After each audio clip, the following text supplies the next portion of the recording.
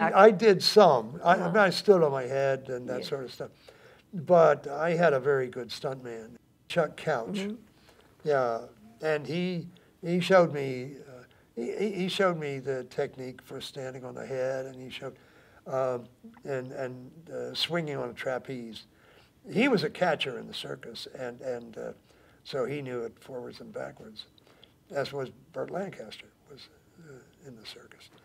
Uh, uh, but uh, to hang on the trapeze, uh, you you got to toughen up the backs of your uh, knees because uh, Oh, yeah. it, it it hurts after a while. It hurts right away, actually. Uh, I mean, try it sometime. You know, That's okay. Ha- hang on a trapeze, uh, you know, this way. And so I had to toughen up my uh, the backs of my knees in order to do some of that stuff. But uh, some of the flips and stuff that he did, I, I uh, and when I did Riddler on Batman, I, I, Yeah. I, uh, uh, I got Chuck to, uh, I had to fall out of a window on a building, and uh, he did that.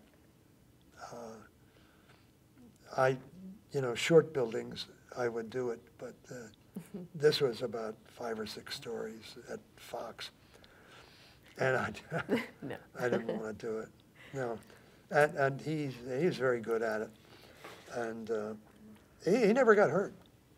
He, uh, used to do wing walking, and I once asked him, I said, how do you get away with that? And I said, that's not, that's dangerous. He said, no, no, he said, it isn't really dangerous, as long as you don't make a mistake.